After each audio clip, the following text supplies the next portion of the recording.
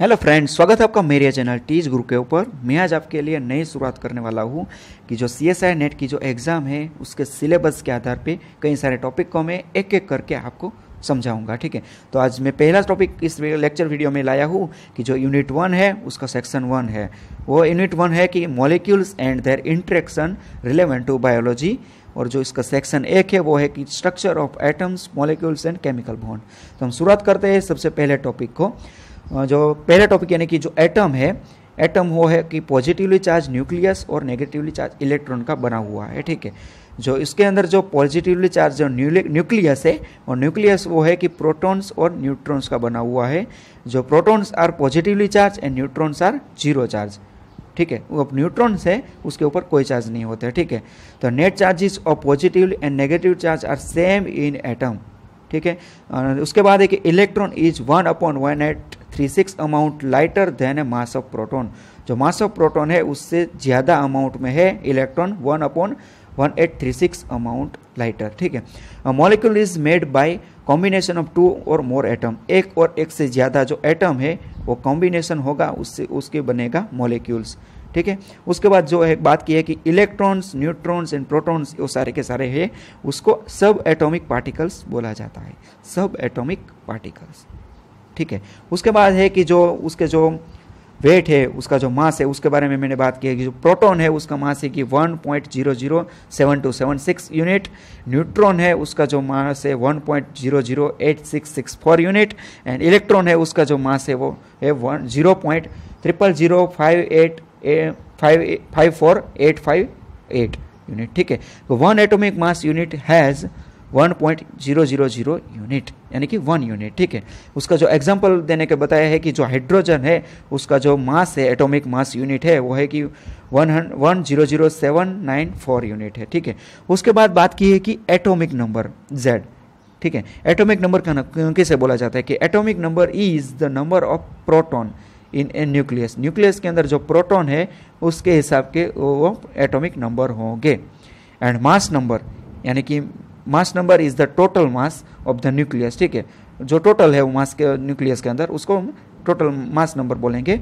That is mass of proton and nucleus ठीक है? कि न्यूक्लियस के अंदर मैंने आगे भी बताया कि प्रोटॉन और न्यूक्लियस है, इसलिए जो प्रोटॉन का मास और न्यूक्लियस का मास होगा, उसके हिसाब के हिसाब के आधार पे वो मास नंबर होंगे। उसके बाद बात की each and every atom has specific number of proton जो हर एक जो एटम है उसके बाद उसके पास स्पेसिफिक नंबर ऑफ़ प्रोटॉन है but specific number of not proton sorry not neutron ठीक है? जो प्रोटॉन है, वो स्पेसिफिक है, और न्यूट्रॉन है, वो स्पेसिफिक नहीं है, उसको हम आइसोटोप बोला जाता है, ठीक है? तो हम कार्बन का हम आइसोटोप देखें तो सी ट्वेल्व सी फोर्टीन उसका जो न्यूट्रॉन है, उसके हिसाब से उसका जो मोलिकुलर मास है, यानी कि एटॉमिक मास है, वो चेंजेस होगा बट जो एटॉमिक नंबर है, उसका सेम होगा। एटॉमिक मास मैंने आगे भी बोला बताया कि जो, कि atomic mass is the number of proton और न्यूट्रॉन मॉलिक्यूल मॉलिक्यूल्स उसके बाद मैंने मॉलिक्यूल्स की बात की है। Molecules is made by the combination of two और more atom it can be a diatomic molecules और पॉली एटोमिक मोलिक्यूल्स जो उसके अंदर जो डाई एटोमिक मोलिक्यूल किसे बोलेंगे? जो टू एटम्स जो कंसिस्ट होंगे तो उसको हम डायटोमिक मोलिक्यूल्स बोलेंगे, और जो टू और टू से ज़्यादा, यानी कि टू मोर देन टू मोलिक एटम्स जो कंसिस्ट होंगे तो उसको हम पोली एटोमिक मोलिकुल्स बोला जाएगा।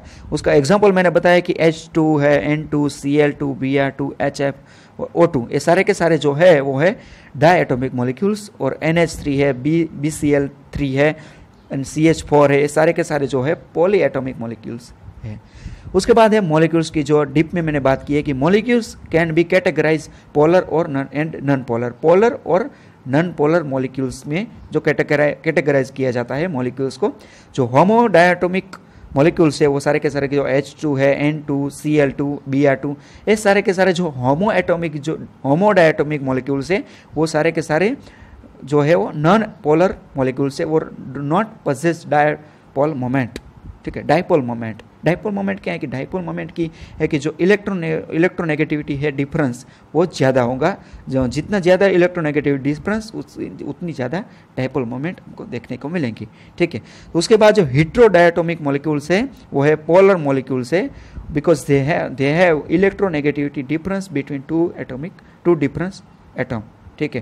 तो सिंपल, सिंपली मैं बताता हूँ कि जो होमोडायटोमिक मॉलिक्यूल्स है वो नॉन पोलर मॉलिक्यूल्स है और हीट्रोडायटोमिक मॉलिक्यूल्स है वो है पोलर मॉलिक्यूल्स पोलिएटोमिक मॉलिक्यूल्स की बात करें किए जाए तो कि जो can be either be a polar और नॉन पोलर मॉलिक्यूल्स कई कई बार जो पोलर एटॉमिक मॉलिक्यूल्स है उसके अंदर पोलर एटॉमिक मॉलिक्यूल्स भी होते हैं और non atomic non polar molecules भी देखने को मिलते हैं, ठीक है? Depends on geometry and shape of molecules molecules का शेप और उसकी जियोमेट्री के आधार पे वो पोलिएटॉमिक मॉलिक्यूल्स देखने को मिलेगा कि जो पोलर है या वो नॉन पोलर है, ठीक है? जो इसके एग्ज़ाम्पल के ज़रिए मैं बताता हूँ कि एन है, वो पोलर मॉलिक्यूल है सी है, वो non polar B C L three और ऑल्सो नॉन पोलर मॉलिक्यूल्स उसके फिगर है कि जो केमिकल केमिकल जो रिएक्ट एक फॉर्म में बताया है कि एन थ्री है, सबसे पहले, उसके बाद सी सी एच फोर उसके बाद बी सी एल थ्री उसके बाद जो है chemical bonding second part when two और more atoms combine together then a chemical bond is form between the atoms chemical bonds are four types such as atom जो chemical bond क्या है कि जो टू और more than two atoms combine together एक और एक से ज़्यादा जो एटम है, वो कंबाइन हो गए एक दूसरे के साथ तो वो केमिकल बॉन्ड के ज़रिए वो कंबाइन हो गए, ठीक है? वो केमिकल बॉन्ड क्रिएट करेंगे। तो जो जो केमिकल बॉन्ड है, वो फोर टाइप्स के वो मेनली है, जो ionic chemical bonds covalent then polar and hydrogen bond ठीक है? इन सारे के सारे के जो है जो है केमिकल बॉन्ड उसके बारे में हम बात करते हैं। सबसे पहले ionic bond Ionic bond is formed when a atoms release its valence electron and electronegative atoms take valence that electron. ये क्या है कि जो टू जो टू एटम हो गए वन एटम और टू एटम ठीक है? तो एक एटम है वो, जो वैलेंस इलेक्ट्रॉन है उसका, वो रिलीज़ करेगा। और दूसरा एटम है वो उस जो इलेक्ट्रॉन वैलेंस हुआ जो एटम है वो फ्री हुआ है, वो रिलीज़ हुआ एटम्स को वो टेक ऑफ़ करेगा, वो लेगा, ठीक है? तो इस बात इस तरह से बनेगा आयोनिक बॉन्ड इन दोनों जो एटम है उसके बीच में आयोनिक बॉन्ड क्रिएट होगा, ठीक है? तो मैंने इस एग्ज़ाम्पल के ज़रिए मैंने बताया कि एन है and C S C L two M G O N L है, इस सारे के सारे के अंदर हम देखने को मिलता है आयोनिक बॉन्ड ठीक है? इस फिगर में आपको देख रहा होगा कि एन सोडियम है एन है को वो एलेंस इलेक्ट्रॉन को रिलीज़ करता है, और सी एल है, वो जो वैलेंस हुआ इलेक्ट्रॉन है रिलीज़ हुआ इलेक्ट्रॉन है, उसको टेकअप करता है, और उसके दोनों के बीच में बनता है एन यानी कि जो आयोनिक बॉन्ड उसके बाद कोवेलेंट बॉन्ड है। Covalent bond is form by the sharing of electron between two elements दो एलिमेंट्स है जो दो एटम्स है उसके दोनों के बीच में जो इलेक्ट्रॉन का शेयरिंग होगा, ठीक है? उसकी वजह से वो बनेगा covalent bond the electronegativity difference between the sharing atom जो शेयरिंग एटम है, उसके बीच बीच में जो इलेक्ट्रोनेगेटिविटी वो है डिफरेंस होनी चाहिए। Homo atomic molecules form covalent bonds by sharing their valence shell electron ठीक है? जो होमो एटोमिक जो मॉलिक्यूल मैंने आगे भी बताया था कि जो नॉन पोलर है मॉलिक्यूल्स वो है कि H two C L two C H four ये सारे के सारे के अंदर हम देखने को मिलता है कि जो कोवेलेंट बोन के ज़रिए वो एक दूसरे एक दूसरे के साथ वो बाइंड होते हैं।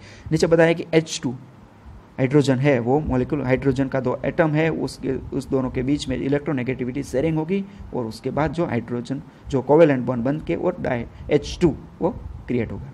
उसके बाद पोलर कोवेलेंट बॉन्ड क्या है कि polar covalent bond is form when the electronegativity of the two bonds form atoms are not equal ठीक है? उसके अंदर जो इलेक्ट्रोनेगेटिविटी है, दो जो बॉन्ड क्रिएट होने वाला है, जो एटम है, यानी कि जो एटम वन एटम टू उन दोनों के अंदर जो इलेक्ट्रोनेगेटिविटी है, वो नॉट इक्वल ठीक है? इक्वल नहीं होनी चाहिए. ठीक है? वन एटम है, उसकी जो हायर होनी दूसरे हो उसकी लोअर होगी। इस हिसाब से और उसकी इलेक्ट्रोनेगेटिविटी होगी और उसके बाद उसके अंदर जो बॉन्ड है वो क्रिएट होगा, ठीक है? वो दोनों जो अटैच हो गए, उसके बाद जो वो पोलर कोवेलेंट बॉन्ड कहा जाएगा। वो पोलर कोवेलेंट कोवेलेंट बॉन्ड के ज़रिए वो क्रिएट होगा, ठीक है? एच सी एल है N H three H two इस सारे के सारे के अंदर देखें तो पोलर कोवेलेंट बॉन्ड को देखने को मिलता है। एग्ज़ाम्पल एग्ज़ाम्पल के ज़रिए हम देखें तो कि दो हाइड्रोजन बॉन्ड है।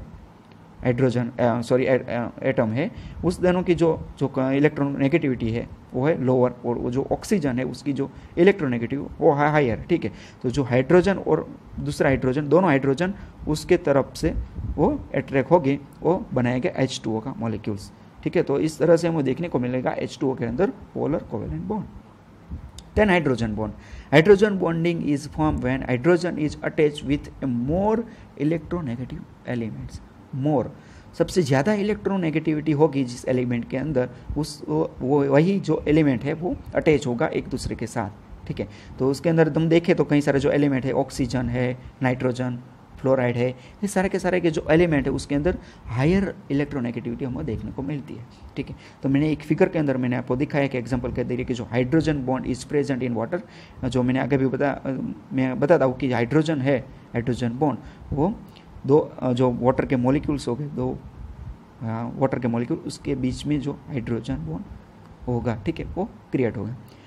मैं आशा रखता हूँ आपको मेरा वीडियो अच्छा लगा हो तो प्लीज़ आप मेरे चैनल पर नए हो तो प्लीज़ मेरे चैनल को सब्सक्राइब कर दीजिएगा और बेल आइकन को क्लिक कर दीजिएगा, क्योंकि जो मैं अब मैं सीरीज़ में आपको मैं वीडियो देने वाला हूँ सी नेट के लिए तो कि सारे के सारे जो टॉपिक मैं कवर कर दूँ और आपको भी अपनी एग्ज़ाम के अंदर अच्छी अच्छी हेल्प हो, ठीक है। और आपको जो कई सारी जो क्वेरी हो और क्वेश्चन हो तो प्लीज़ मुझे कमेंट में बता सकते हैं। मैं आपको जो जो क्वेश्चन के आधार पे उसका जो पूरा आंसर करूँगा और thank you thank you so much my friends